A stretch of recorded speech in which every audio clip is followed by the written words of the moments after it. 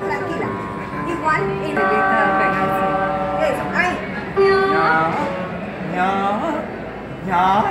Mira, pero otro ejercicio de dicción que también es muy bueno es, creo que ustedes lo han trabajado, es con el, ¿tienen la pizarra? Seguimos en la Plaza San Mateo, en un taller de técnica vocal con la profesora Karime, quien nos va a comentar sobre este proyecto, sus actividades, su trabajo en la EMA y cómo podemos acceder a su trabajo a través de redes sociales. Hola, muy buenos días.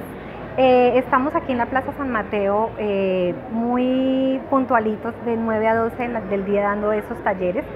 El taller de técnica vocal lo que procura eh, producir en las personas es un es despertar el interés por eh, rescatar de pronto ese, ese, arte de la voz, no solamente para personas cantantes o vinculadas a la música, sino todas aquellas personas que tienen alguna, algún trabajo con la voz, ya sea en periodismo, ya sea en teatro, ya sea en cualquier otra arte, y que quieran venir a capacitarse de pronto en el tema de la técnica vocal.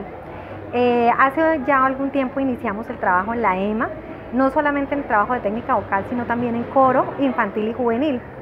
Eh, si quieren vincularse de pronto al coro infantil y juvenil de la EMA, pueden hacerlo hasta los 28 años. Recibimos personas que quieran estar, niños y jóvenes, eh, que quieran desarrollar este talento del arte vocal. También tenemos clases de técnica vocal particulares para aquellas personas que quieran de pronto tener las clases eh, a nivel individual y para cantar lo que es música jazz, pop, rock, también tenemos este, abierto este programa.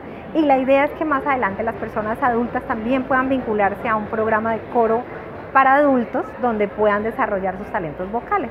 Así que los espero para información en la Escuela Municipal de Artes de Bucaramanga, que ahora tiene sede en el Centro Cultural del Oriente. Y cualquier duda, cualquier inquietud, con mucho gusto no duden en comunicarse conmigo. Docentes, Arte y Cultura con la maestra Luz Karime Guerra. Talleres de técnica vocal.